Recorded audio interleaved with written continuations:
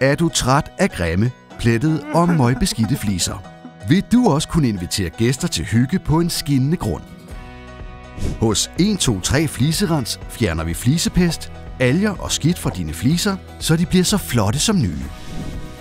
Resultatet kan du se lige med det samme, når vi kører vores smarte maskine hen over fliserne.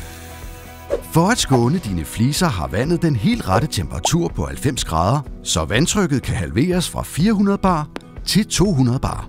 Dette er skånsomt for fliserne og gør, at de ikke tager skade af behandlingen. Når fliserne er blevet renset og helt tørre, spredes der sand ind imellem dem.